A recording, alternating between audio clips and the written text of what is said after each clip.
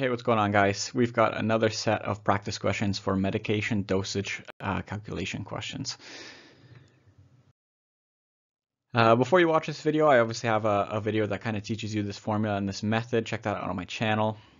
Um, this video is not to kind of guide you through the basics on how to do it. However, we're going to review the formula at the beginning.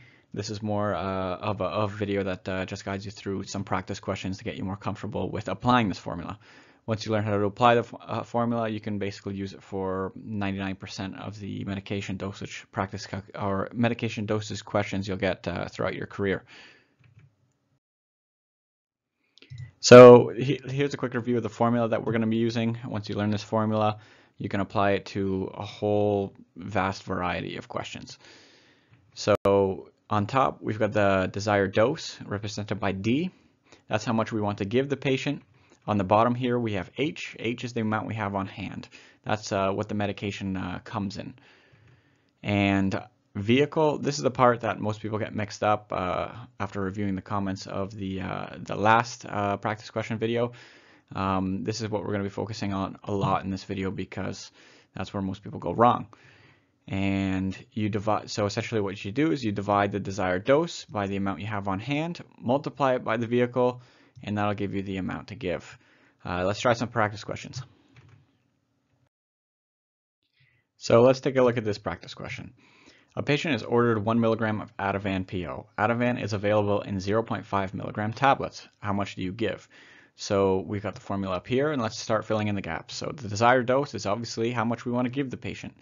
And how much do we want to give the patient? Well, it's 1 milligram. So we're going to put that up top here. Now, how much do we have available on hand? Well, the question tells you that it, it's available in 0.5 milligram tablets. So that's what we have on hand. So the bottom part of this formula is going to be 0.5 milligrams. Now, let's focus on the vehicle. So for questions with tablets, the vehicle is a little bit uh, uh, more straightforward because it's 0.5 milligrams per every single tablet. So obviously the tablet is going to be one vehicle and we're going to specify that it's one tablet just because going forward when the questions get more complicated um, this is going to to work much better when we go into like for example volume related questions where you're giving uh, milliliters instead of tablets. So now we just have to solve this question. We have one milligram uh, we have 1 milligram divided by 0.5 milligrams that will give us 2. If you're following along with the math, the, uh, the milligram units cross out. So we're going to do 2 multiplied by the vehicle, which is one tablet. So therefore, we will give two tablets. Uh, again, this is a very straightforward question, but once you get this formula down pat, it will be much easier going forward for even more complicated questions because you do it the exact same way. Okay, let's try question number two. So a patient is ordered 0.25 milligrams of digoxin. Digoxin is available in 0.125 milligram tablets. How much do you give? So just because um, you have more decimals here, it doesn't mean you change anything with the formula. You have to do it the exact same way. So what's the, what's, let's start with the first part. What's the desired dose? Well, obviously it's what we want to give the patient, and we want to give the patient what the patient has ordered. So 0.25 milligrams we're going to put that up top here. How much do we have on hand? Well, this is another tablet question. So we have uh, 0.125 milligrams available. And it, uh, it says that in the question right here. So we're going to put 0.125 milligrams on the bottom. And going to forward to the vehicle, it's a tablet question, so it's rather straightforward.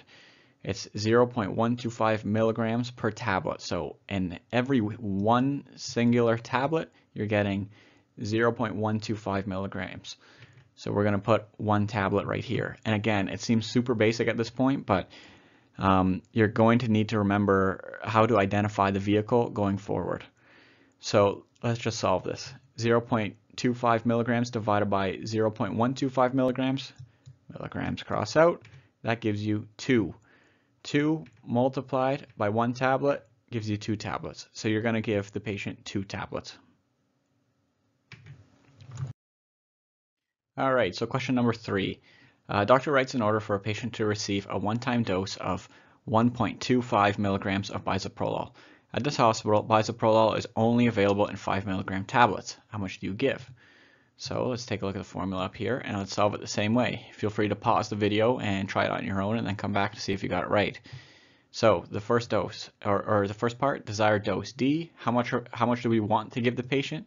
Well, we want to give the patient what is ordered. So we want to give them 1.25 milligrams. We're going to put that up top here. The next part, how much do we have on hand? Well, it's only available in 5 milligram tablets. So that's what we have on hand. We're going to put the 5 milligrams down here at the bottom.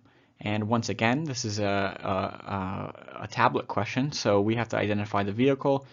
It's rather simple in this because it's 5 milligrams in every single tablet. So once again, the vehicle is one tablet.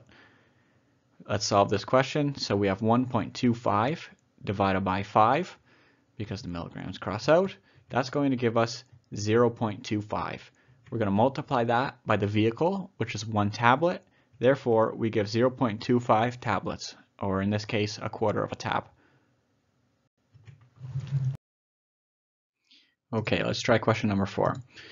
A palliative patient is required to receive 2 milligrams of Versed for terminal restlessness. Versed is available in 2, in 2 milliliter vials. The concentration of Versed is 5 milligrams per mil.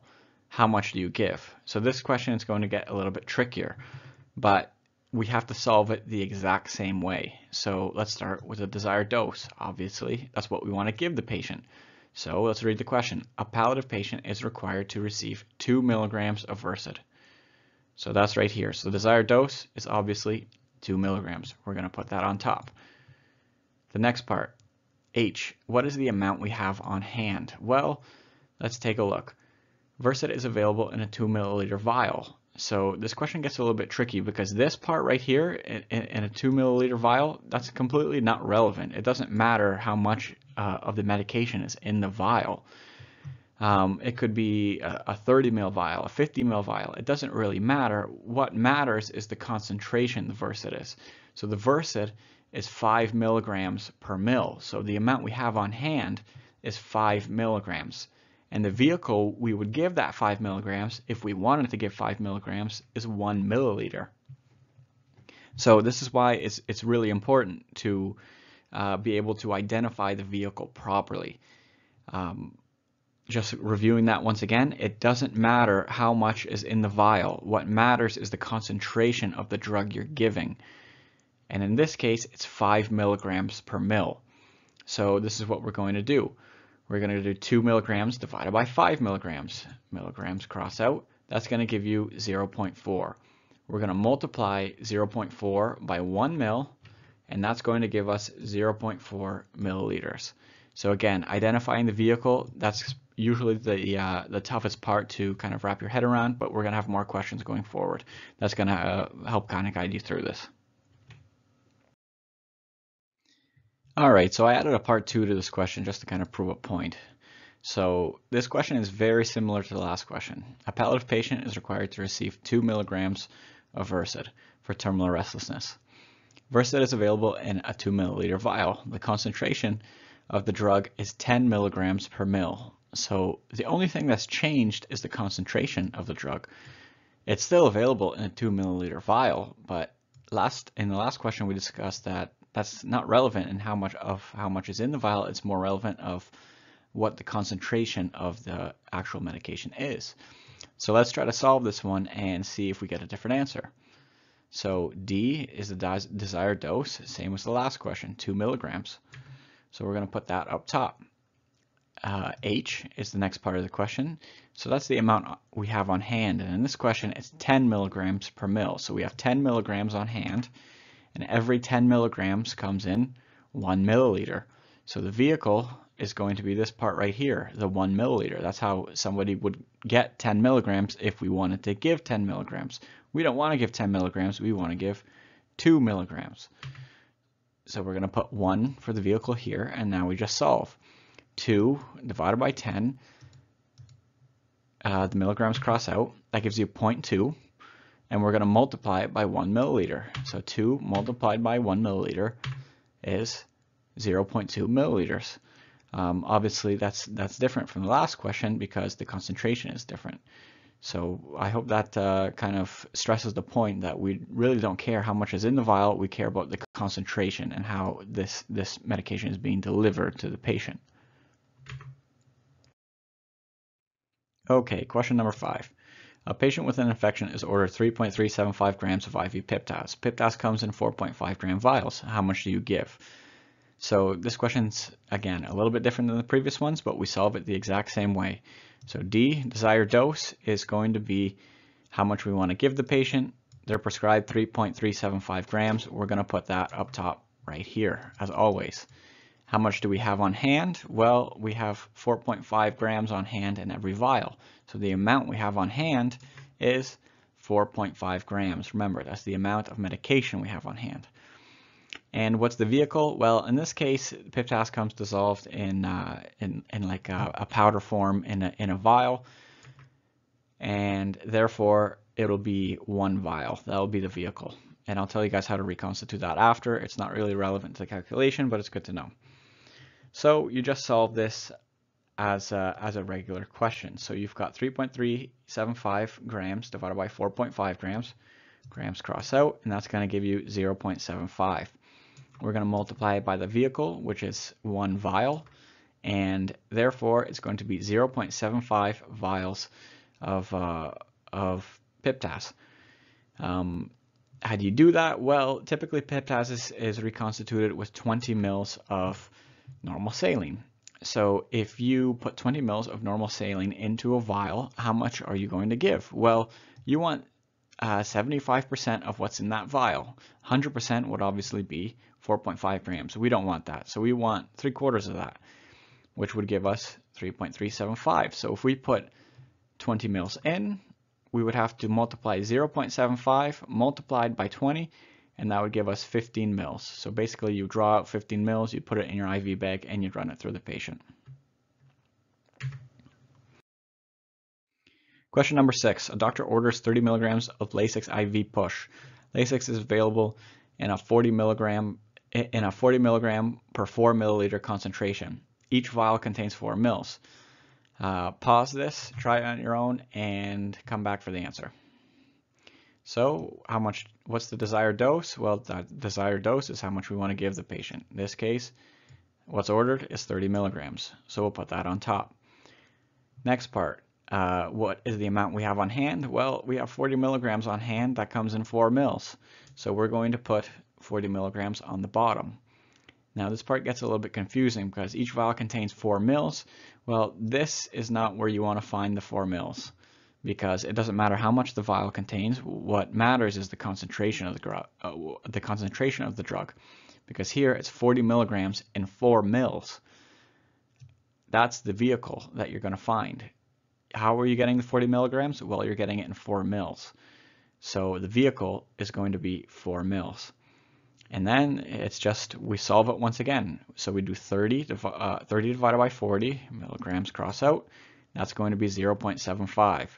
We're going to multiply that by 4 mils, and that's going to give us 3.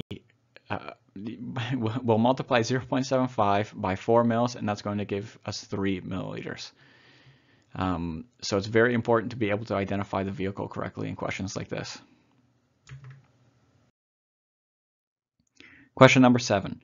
A patient is ordered 250 milligrams of erythromycin PO. Erythromycin is available in 0.5 gram tabs. How much do you give? So we're going to learn another thing in this question because it's it will throw you off a little bit um, because it's something we haven't seen before in this series where um, the units are different. And in order for this formula to work, the units must be the exact same. So let's take a look at this question. What's the desired dose? Well, we want to give the patient 250 milligrams. We know that, so we're going to put that up top as always. That part's easy. But now the bottom part is in grams, and we can't have this in grams, so we have to convert it to milligrams.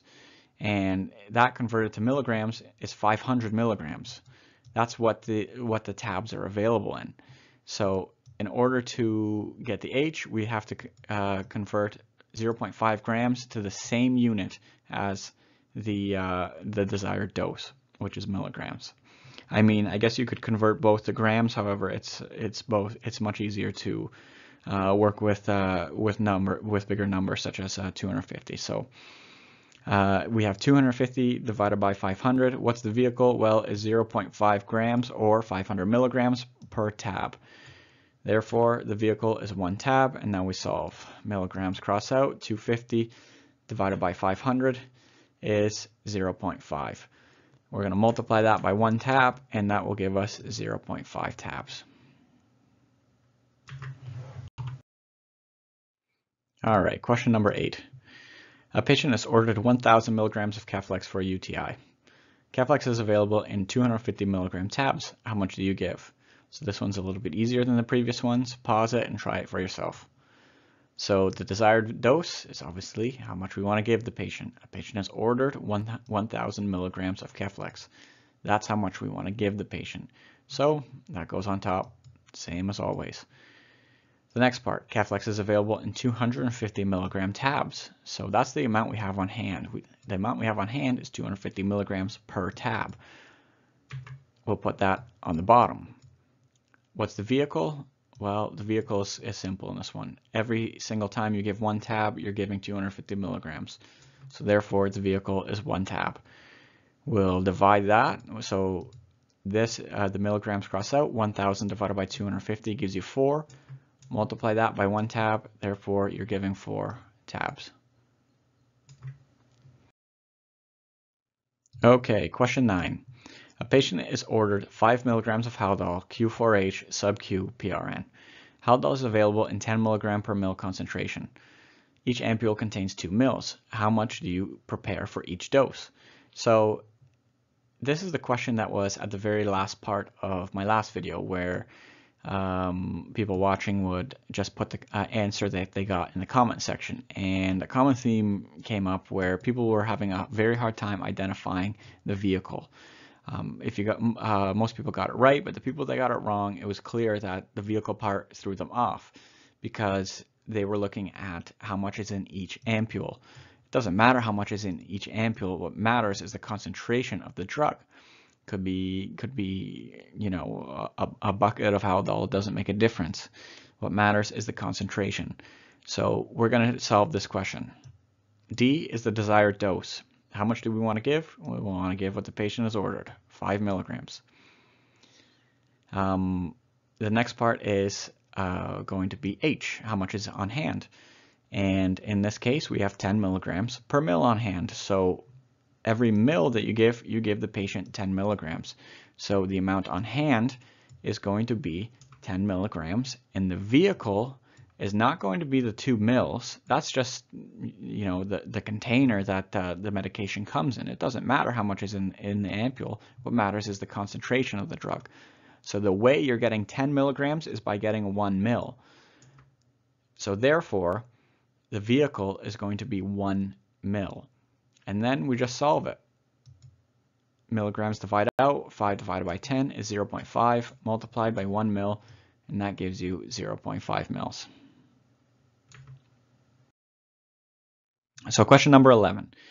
A patient has ordered 20 grams of lactulose to help relieve constipation. Lactulose is available in a 10 gram per 15 ml solution. How much do you give? So pause the video, try this one on your own. And once you get the right answer, put it in the comment section and I'll, I'll do my best to reply whether you're right or wrong. So thank you very much for watching the video. Please don't forget to subscribe. I'm going to try to put out some more videos a little bit more regularly. And uh, thanks for watching.